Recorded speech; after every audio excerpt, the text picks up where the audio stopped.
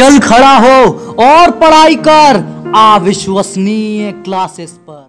हाँ तो बॉस अगर आप किसी भी कॉम्पिटिटिव एग्जामिनेशंस को दे रहे हैं तो आपको ये क्वेश्चन बहुत ही सिमिलर लग रहा होगा दोस्तों कि ये क्वेश्चन हर जगह आपको मिल जाता है। तो इसको सॉल्व कैसे करें? अगर आप डायरेक्ट अप्रोच लेते हैं, अगर आपको मान लीजिए निकालना कि टेन थीटा तो टेन थीटा इसको जैसे इक्वेशन को देखा जाए तो टेन थीटा तभी निकाल सकते हैं जब आप कॉस थीटा से डिवाइड कर दें तो थ्री टेन थीटा निकल आएगा। यहाँ पे कांस्टेंट बचेगा because cos theta cos theta cut जाएगा और फाइव अपॉन नीचे अगर हम कॉस थीटा डिवाइड कर रहे हैं ना, ठीक है?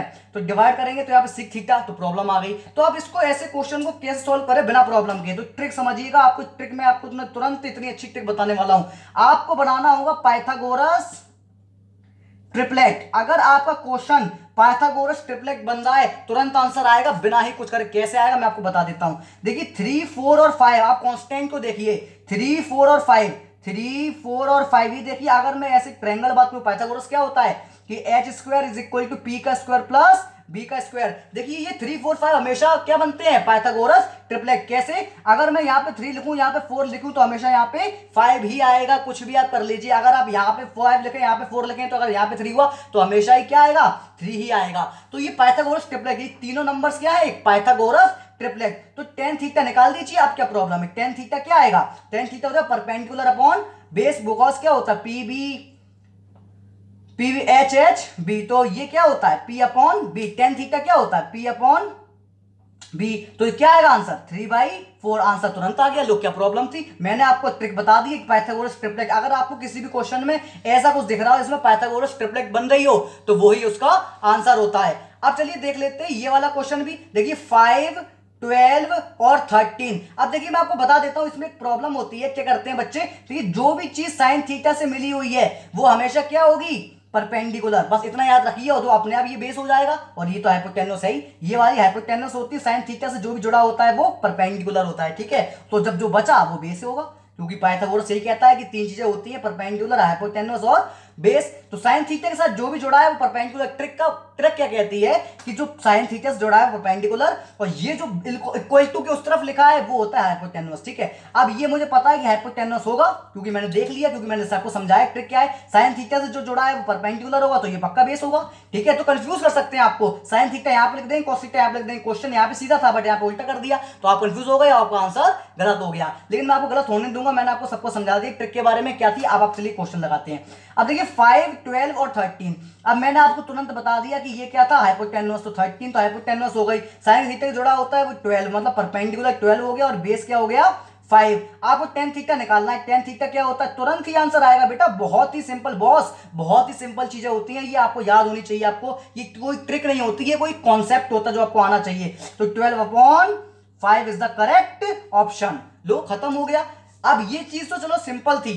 अब चलिए, अब देखते हैं ये क्वेश्चन ये जो ऐसे क्वेश्चन आते हैं बेटा बहुत ही घुमावदार आते हैं और आपको मैं बता दूँ इसमें कंफ्यूज हो जाओगे आप और कंफ्यूज चलिए मत भी हो अगर आपने लगा भी लिया तो आप कम से कम ये पाँच लाइनों में लग, लगेगा और कम समय में तो बिल्कुल नहीं लगेगा। तो इसकी जरा एक ट्रिक देख लेते हैं कि कम समय में आप ऐसे क्वेश्चन कैसे लगाएँ। अब देखिए जैसे दिया गया है टेन थ्री एक्स माइनस का four tan six x plus का four is equal to one तो आपसे पूछा गया है कि x की वैल्यू मुझे फाइंड करके बताइए। तो आप एक बात बताइए, अगर आप इसको सॉल्व करेंगे, कैसे करेंगे? कि वैसा फॉर्मूले से, क्या होता है formula tan A plus B का, है ना? वो लगाएँगे, इन दोनों में लगाएँगे, इन दोनों लगा के उसको सॉल्व करेंगे, फिर आपको एक इक्वेशन मिलेगी। इक्वेशन के बाद आप उसके स्प्लिटिंग मेथड लगाएँगे स्प्लिटिंग के बाद आपके जो रूट्स निकलेंगे, वो इसकी वैल्यू क्या आप इतना बड़ा करने वाले हैं। अगर आप सोच रहे हैं ना तो आपका दिमाग हो गया खराब, क्योंकि कॉम्पिटेटिव एग्जामिनेशन में इतना बड़ा लगाने की ज़रूरत ही नहीं है। जैसे आप कभी भी कॉम्पिटेटिव एग्जामिनेशन में नहीं आते। मतलब सीधी बात है, मैं आपको बता दे रहा हूँ बॉस ठीक है अब बॉस करना क्या है ट्रिक मैं आपको बता देता हूँ। ट्रिक क्या होती है कि अगर आपको टेन थीटा वन और tan theta two is equal to one दिया गया मतलब ये थीटा वन मान लीजिए, ये थीटा टू मान लीजिए। अगर वो कभी भी वन के इक्वल दी गई है तो ट्रिक सिंपल होती है कि theta one plus theta two is equal to ninety degree हमेशा होगा। बिल्कुल ऐसा ही केस के साथ होता है कॉट के साथ। Cot theta one cot theta two equal to अगर वन दिया गया है तो कुछ भी सोचना नहीं है। Theta one plus theta two equal to ninety कर दीजिए। थीटा की वैल्यू अपने आप आ जाएगी। नहीं समझ में आया? चलिए आपको करके दिखा देते हैं कैसे करना है। ये मान लीजिए थीटा वन है। तो देखिए, पहले पहला क्वेश्चन मैं यहाँ पे लिखता हूँ। Three x plus four theta one plus theta two equal to ninety degree होता है। तो थीटा वन ये रहा। थीटा टू क्या है? सिक्स एक्स ये माइनस का फोर है और ये प्लस का फोर है। और यहाँ पे क्या आ गया? 90 डिग्री क्यों? क्योंकि हमारा ये ट्रिक कहती है। ये है ट्रिक ठीक है? हो गया? अब फोर से फोर कट गया three x plus six x कितना होता nine x nine x equal to ninety degree x की वैल्यू क्या आएगी? टेन डिग्री क्या आपको कुछ सोचना पड़ा? क्या आपको स्टेप्स कुछ लिखने पड़े? क्या? सिर्फ़ ये ट्रिक याद करिएगा, बस। आपको ये ट्रिक याद है तो आपको सब कुछ हो गया। अब वैसे ही मैंने आपको क्या बताया था कॉट का भी यही होता है। थीटा ये दोनों को थीटा प्लस कर दो नाइनटी डिग्री के इक्वल कर दो। तो बिल्कुल कर दीजिए आप। सिक्स एक्स प्लस थ्री और प्लस थ्री एक्स माइनस का थ्री माइनस थ्री से प्लस थ्री कट गया। सिक्स प्लस थ्री होता है नाइन एक्स इक्वल टू 90 फिर से x की वैल्यू क्या आ गई? 10 डिग्री तो दोनों में ही x की वैल्यू 10 डिग्री होगी। ये आप लिख लीजिए करिए। बहुत ही इंपॉर्टेंट चीज़ है मैं बताता हूँ। आप लिख ज़रूर लीजिए करिए जिससे आपको याद रहे कि ये ट्रिक्स मैंने अपने पेपर में, आप, में आपको अपनानी है। तो चलिए देख लेते हैं और अगले क्वेश्चन हाँ तो बॉस आप किसी भी कॉम्पिटेटिव एग्जामिनेशन के लास्ट ईयर के मैं आपको जो बता रहा हूँ लास्ट ईयर के टेन ईयर्स के पेपर उठा के रखना। तो ये जो आपने मैंने आज मैं अपनी वीडियो में ये क्वेश्चन बताए हैं ना द मोस्ट इंपॉर्टेंट क्वेश्चन है और आपको तुरंत ही कहीं ना कहीं मिल जाएँगे। और अगर आपको मिल रहे हैं ऐसे क्वेश्चन क्या आपको ऐसे क्वेश्चन मिलते हैं एग्जामिनेशन में तो मुझे कमेंट में नीचे ज़रूर बताइएगा आपकी फीलिंग्स कि आपने मैंने ये वीडियो बनाई है वो आपके लिए बिल्कुल कुछ ना कुछ आपको मिला इससे, कुछ की नहीं मिला। तो चलिए देख लेते हैं, एक क्वेश्चन टाइप ऐसे भी आते हैं। अब देखिए, ऐसे क्या है कि आपको दे दिया जाएगा कि A plus B is equal to forty five degree यानी कुछ भी दे दिया जाए सिक्सटी दे दिया जाए, मुझे उससे मतलब नहीं, कुछ भी दे दिया जाए, ठीक है? अब वो कह रहा है find the value of one plus tan A और वन प्लस टेन बी की वैल्यू आप निकाल दीजिए। अब क्या इसको आप सॉल्व करेंगे? नहीं करेंगे, दोस्तों, ये सब ट्रिक्स का होता है। अगर आप ट्रिक दोस्तों मैं आपको बता दूँ अभी आप कोचिंग नहीं पढ़ते, इसलिए आपको नहीं पता, ये उन बच्चों के लिए जो कोचिंग नहीं पढ़ते हैं तो कोचिंग नहीं पढ़ते, उसमें ऐसी ट्रिक बताई जाती है, इसलिए जो कोचिंग वाले बच्चे होते हैं, वो तुरंत हो जाते हैं, ठीक है? लेकिन आप भी मेहनत कीजिए, आप भी ज़रूर होंगे, ये मैं आपसे कह रहा हूँ, लेकिन मेहनत करिए, मैं आपके साथ हूँ, जितनी आप मेहनत करेंगे, उससे दो गुना मैं आपके लिए मेहनत करूँगा, ये मैं आपसे कह सकता हूँ, ठीक है? तो अब आपको करना क्या है कि अगर आपको ऐसा कुछ दिया जाए कि A plus B equal to forty five आपको सॉल्व पहली बात तो आप किसी भी कॉम्पिटेटिव एग्जामिनेशन जा रहे हो तो सॉल्विंग अप्रोच नहीं होना चाहिए। आपके लिए स्मार्ट अप्रोच होना चाहिए कि स्मार्ट अप्रोच से आप किसी क्वेश्चन को कैसे लगा देते हैं, ठीक है? तो अगर देखिए, अगर a plus B forty five है तो a और b की कुछ ऐसी वैल्यू रखिए जिसमें 45 आ जाए, ठीक है? अब मान लीजिए मैं a की वैल्यू रखता हूँ 45 ही और b की वैल्यू ज़ीरो रखता हूँ तो 45 प्लस ज़ीरो 45 तो अब क्वेश्चन देखिए कितना सिंपल हो गया। अब देखिए, चलिए इस क्वेश्चन को देखते हैं कि वन प्लस टेन ए में ए क्या है? मैंने 45 मान लिया तो टेन फोर्टी ठीक है? और one plus tan zero tan zero की वैल्यू हमेशा ज़ीरो होती है। तो वन प्लस ज़ीरो वन बचा। ठीक है? Into one plus tan tan forty five तो टू तो मतलब वन प्लस वन टू तो यहाँ पे आंसर हमेशा टू तो अगर ऐसा आपको याद रखना तो याद रख लीजिए, ये तो इसका फंडा होता है बॉस कि अगर आपको ऐसे क्वेश्चन दिख जाए तो उसका आंसर हमेशा ही टू आएगा। आप कुछ भी कर लीजिए। अब मान लीजिए, आप कहते कि मैं अगर नहीं रखूँ 45 और ज़ीरो ऐसे नहीं रखूँ। अगर मैं कह दूँ कि साढ़े बाईस साढ़े बाईस, मान लीजिए A plus B equal to forty five तब भी हो सकता है जब ए की वैल्यू साढ़े बाईस हो। और यहाँ पे भी साढ़े बाईस हो। ठीक है तो बाईस बाईस, चौबीस चौबीस, साढ़े बाईस और चौबीस और एक। फोर्टी फाइव तो आप ऐसे भी रख लीजिए, उससे कोई मतलब नहीं है। तो टेन अगर मैं साढ़े बाईस की वैल्यू मैं दिखाऊँ तो कितनी होती है? तो ये होती है आपकी रूट टू माइनस वन होती है। अब देखिए, आपने क्या कहा कि मैं साढ़े बाईस रखूँगा तो आप रख दीजिए। यहाँ पे देखिए, यहाँ पे भी साढ़े बाईस रखेंगे, यहाँ पे भी साढ़े बाईस रखेंगे तो क्या हो जाएगा? वन प्लस टेन साढ़े बाईस मतलब बाईस वन बाई टू का होल का स्क्वायर हो जाएगा, क्योंकि ये दोनों मिल जाएँगे, क्योंकि एक ही वैल्यू है दोनों की। तो अगर मैं यहाँ पे देखूँ तो यहाँ पे इसकी वैल्यू क्या है रूट टू माइनस वन तो one plus root two minus one का whole square root minus one से प्लस वन कट गया, और रूट टू का स्क्वायर क्या होता है बच्चों?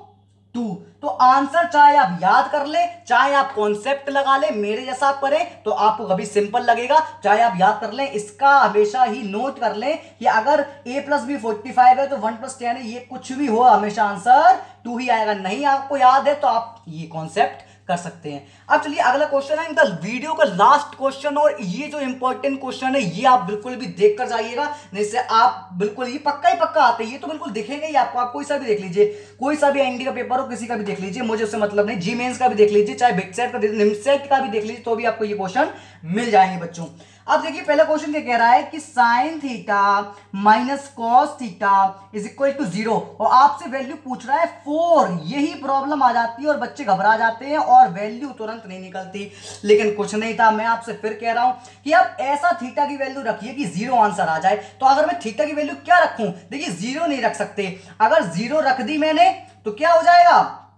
यहाँ पे माइनस का वन आंसर आएगा। लेकिन अगर 90 रख दी मैंने तो 90 देखिए, साइन 90 क्या होता? है वन माइनस ज़ीरो तो अभी यहाँ पे नहीं होगा। लेकिन अगर मैंने थीटा की वैल्यू 45 रख दी है, बहुत ध्यान समझिए, अगर थीटा की वैल्यू 45 रखी तो साइन 45 क्या होता है? One by root two, minus cos 45 क्या होता है? वन बाई रूट टू तो आंसर ज़ीरो आ जाएगा। तो बिल्कुल यही था। थीटा की वैल्यू 45 इसमें उठा कर रख दो। अब क्या है? अब तो क्वेश्चन तो हो गया आधा सॉल्व, अब क्या है? बस वैल्यू निकालनी है।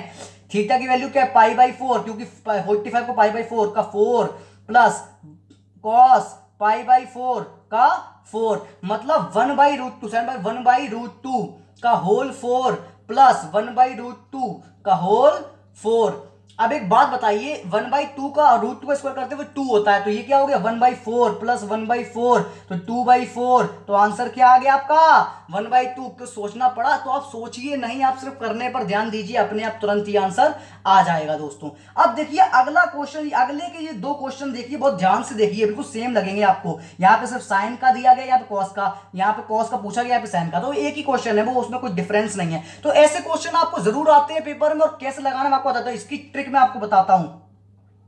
देखिए, अगर एक ट्रिग्नोमेट्रिक फ़ंक्शन का दूसरे के बाद प्लस में अगर स्क्वायर उसका ही दिया गया हो तो उसका आंसर हमेशा ही वन होगा। आप रख के लिख लीजिए, रख के रख लीजिए, कहीं भी लिख लीजिए, कोई मतलब नहीं है। अगर आप इसको सॉल्व करते हैं तो पाँच स्टेप में सॉल्व होगा। मैं आपको तुरंत ही ट्रिक बता देता हूँ कि अगर किसी भी ट्रिग्नोमेट्रिक फ़ंक्शन का मैं आपको लिख के बता देता हूँ।